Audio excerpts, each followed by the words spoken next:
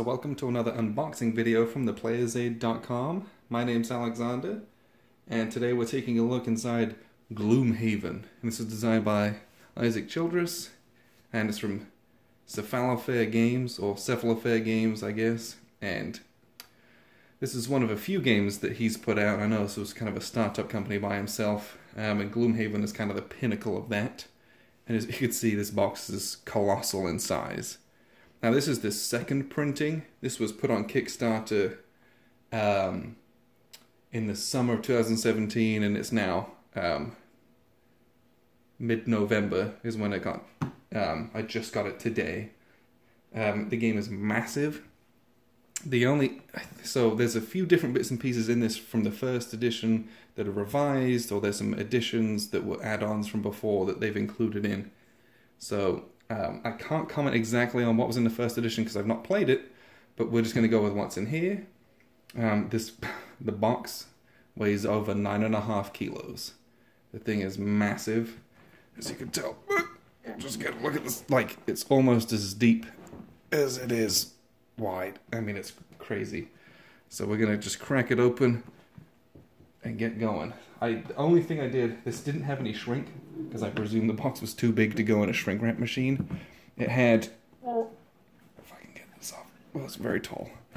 It had kind of like the the little sticker, like the clear plastic stickers you would see on each of the corners. So I cut those off before I shot this just to get ahead in the game because I want to be turning the box up and down. So as you can see, as big as this box is, it is chock full to the top.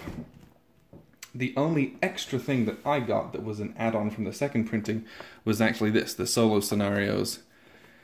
Because I will primarily, most likely, be playing this a lot of solitaire. So I'm just going to flick through because I don't want any spoilers. But this is a good... Let me just off camera take a little look. Well, it doesn't really necessarily have a... I think there's 22, 3, 2, 3, 4, 5, 6, 7, 8, 9, 10, 11, 12, 13, 14, 15, 16, 17, 17 or 18 solo only scenarios in this. And it says here that you can't start these until a very certain point. So um, we'll kind of dig those out later. We have the rule book. So you can watch the rules online if you want to, but I'm a like to read them and see it myself as well. There's a lot of rules. This is a 50, 52 page rulebook. All the iconographies on the back, so that's nice. All the different cards and what they are, because there's a lot of different cards in this game. Um, but yeah, whilst there is a lot of text and it's a big rulebook, a lot of pictures, diagrams, so this will be fairly simple to digest. And I know there's a lot of different phases to the game. Like you'll go adventuring and it's a tactical dungeon crawl, but there's also story aspects and there's a legacy style element as well. There's a lot of stuff here. This is what I can only presume is, yep, the scenario booklet. And this thing, what I'm gonna, ooh, 121 pages in this. Oh my gosh. And looking at this, there are 95 scenarios, just looking at the numbers at the top. I mean, this is massive.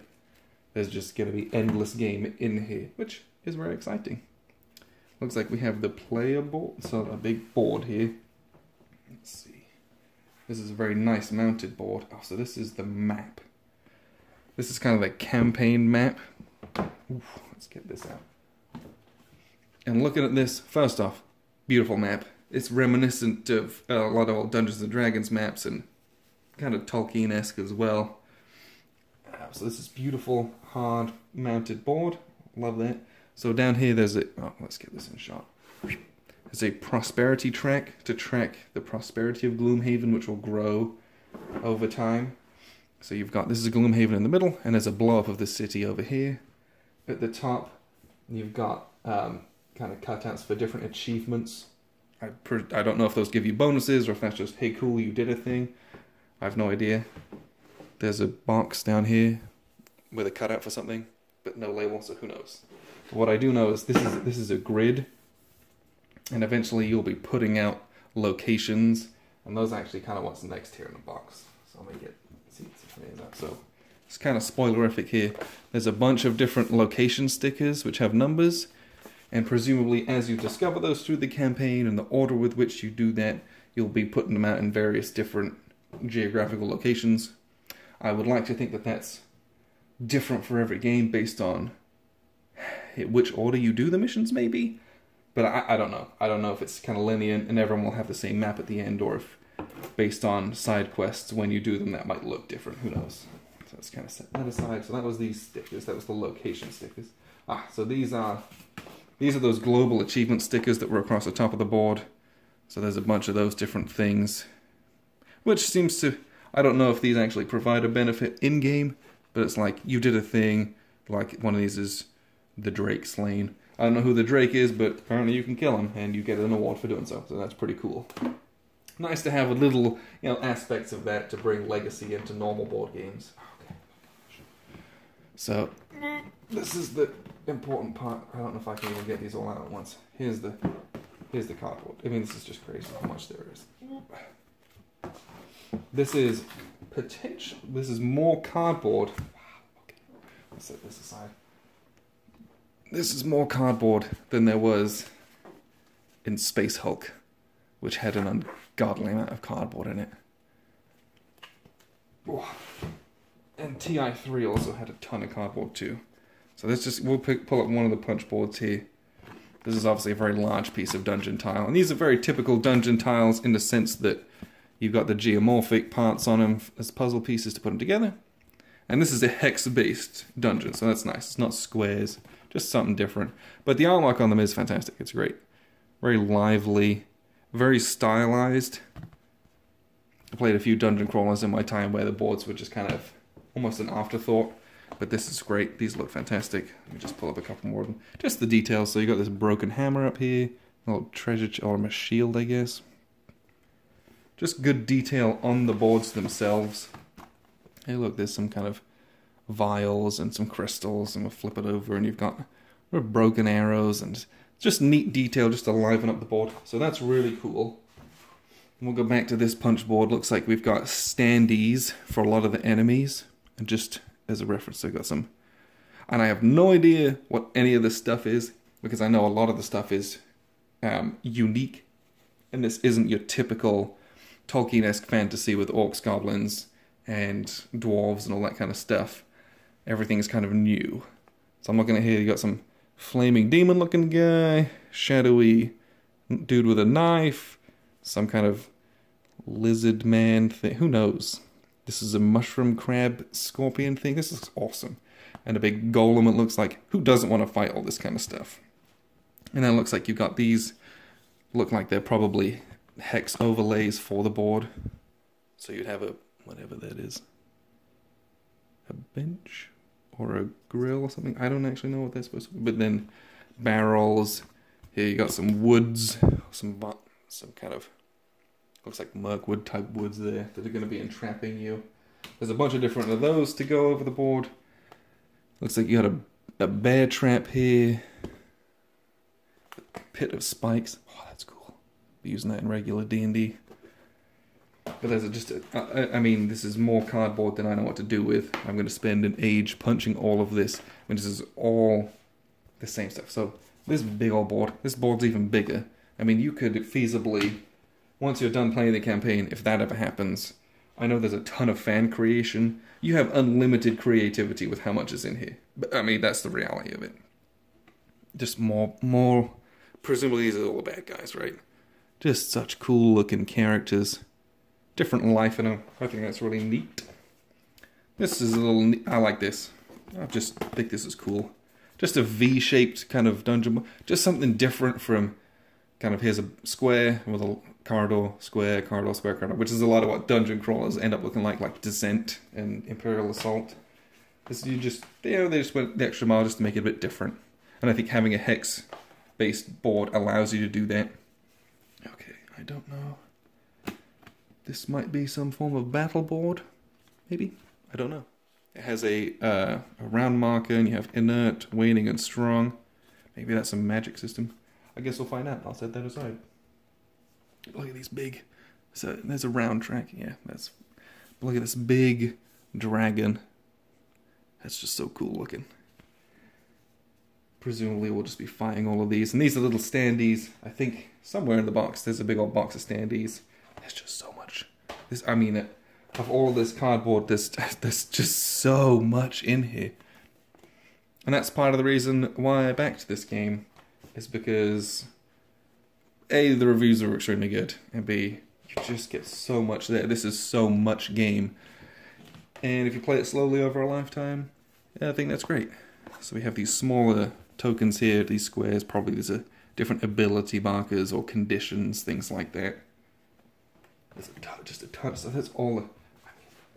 I don't even know how I'm going to store all this. I honestly don't. I'm going to have to punch it all and then cry myself to sleep with what to actually do with everything. So let's take a look at what else we have in here. And I will try my best to keep everything spoiler free, which I think is fairly simple. Because I think the stuff that would be spoilerific are in these envelopes. So we're not going to open those, but eventually at some point the campaign's going to say, hey, open envelope X, and who knows what might happen. Or A and B, same thing. No idea. So you have a pad of these party sheets. Looks like there's maybe 10 of these, maybe. So you have your whole party, your name, location, notes, achievements. You have your reputation marker, and then your shop price modifier. So, you know, if you do bad things, you... Well, if you do bad things, it's going to be more expensive to buy stuff in town. If you do good things, have good rep, you might get better prices. People are more willing to sell to you because you're a hero. This looks like some kind of decoder. So great, there's going to be a puzzle in there. These are more stickers. These are enhancement stickers. So we saw those tokens, and those are probably temporary in-game ones, and these become permanent ones probably on your character sheet. And then there's town records. Who knows? I don't know what this is because it is sealed up on the side. So I'm not going to look through that because that's got a good number of pages in there. Who knows what might happen with that? I have no idea if that's some kind of progression thing or if those are just. I, I don't know. I'm excited though.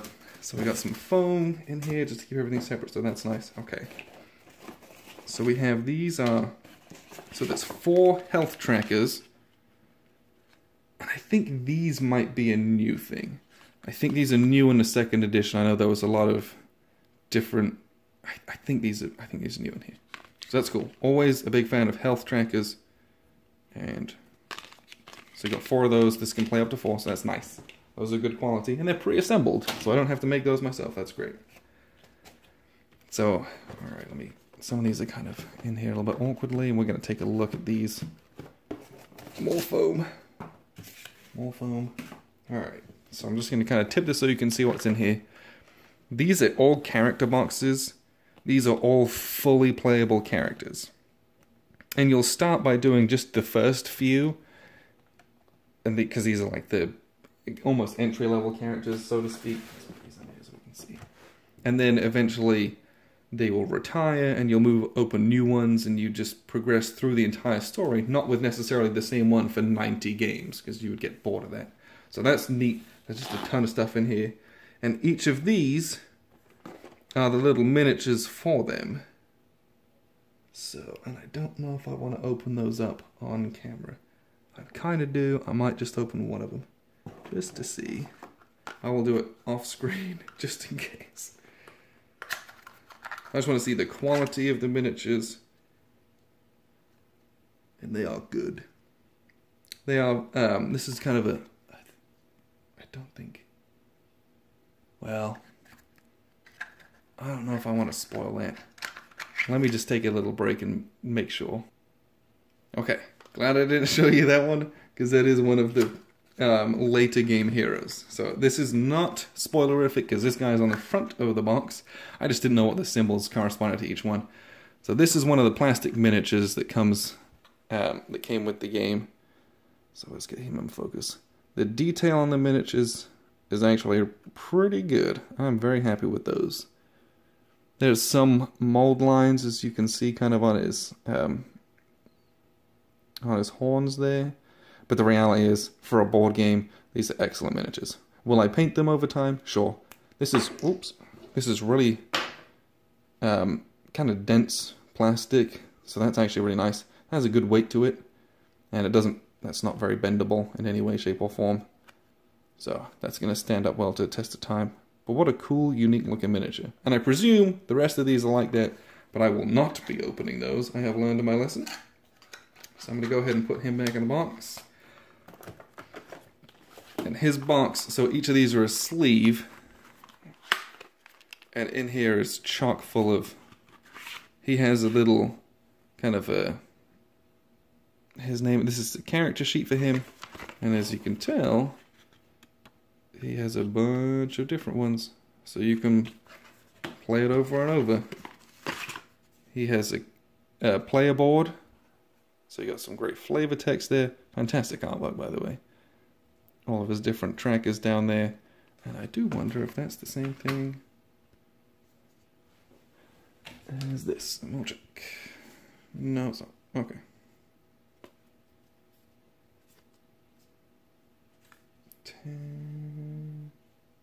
Okay. What else is in here? Oh, there's a bunch of stuff, I believe. So we have, let me just make sure. So we have some little tokens unique for him. And then I think these are battle cards. And then you have a deck as well. And I put that rulebook away foolishly because I don't know what exactly what all of those are. So that's, and each one of these boxes has all of that stuff in. I mean, there's just volumetrically so much in this game. There's a ton of different cards here. So many cards. So you have it. This is a the I think this is your combat deck, which will have various numbers and different pieces. These are the monster cards. So this is just a, a bandit commander, and they have different levels to them, and you'll turn it based on kind of what level he is and the difficulty he's at, and kind of where he's at. These are sealed. Uh, yeah, okay. So yeah, that's these guys will slide in here, and that'll let you. So you'll only be able to see this part of it, and then they have a health tracker on here as well. These are the plastic standees for the for these guys. Let's just punch one of these guys out, and we'll see how he fits in here. Oh, it's quite tight. That's very tight. Doesn't really go down all the way, but it doesn't have to because that's very secure. Like I'm having a hard time pulling it out. So that's pretty much that's, that's how it's going to be, really, because I feel like if I push it in there, I might break the plastic. The plastic's very thick, but I don't want to. I don't want to push my luck. So that's not bad. I'm very happy with those. Standees are great. We got some little wooden counters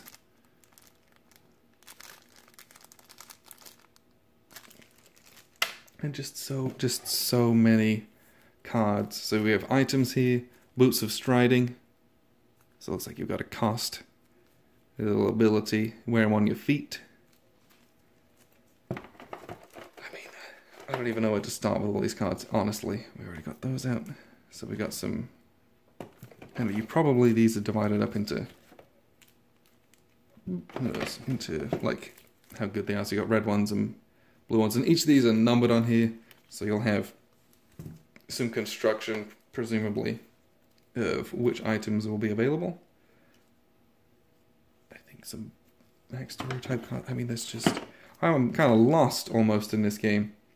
Fantastic, but uh, I got to sit down and read the rules to just try and figure out what everything is and how to organize everything. So, I mean, that's kind of a look at what Gloomhaven is.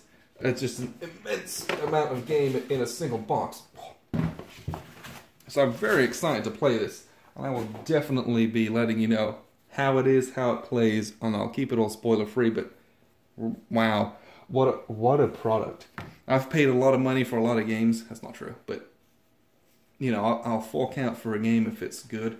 And the price point on this was something where you had to stop and think, because I think the Kickstarter was like 120 bucks, and that was a lot of money. But I've paid, you know, close to that for some games, and you don't get nearly as much content. Not nearly as much. It, like physically wise, this is 22 pounds of goodness. You know, I've I've paid close to $100 for a two inch box with some counters and a paper mat. And that's fantastic, but this is this is kind of mind blowing just how much I have. I'm almost a little bit intimidated. But I'll crunch through it and I'll let you know how it is. I'm hoping it's as great as everyone thinks that it is. Uh, but watch out for a review coming soon. And I've been Alexander from theplayersaid.com.